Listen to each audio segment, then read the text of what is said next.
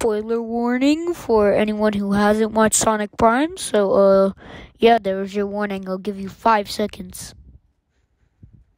That was your five seconds. Now leave.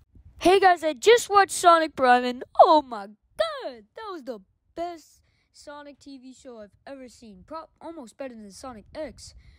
And uh, nine right there, nine. Yeah, that man right there. He will most likely be the best antagonist ever. But still, um, it was a pretty good show. I don't think we'll see Super Sonic in it, even though I was really hoping we would. But that, but it's okay.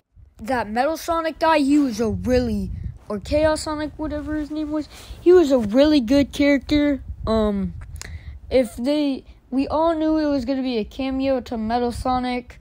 Uh, as soon as we all saw the trailer, you guys saw my reaction. You guys remember. I'm not gonna do a flashback because I don't have the budget. Because my budget's low right now. But that's besides the point. Um, do I want? Is this worth the, your time? Uh, yes. Um, my rating is a nine out of ten for the show.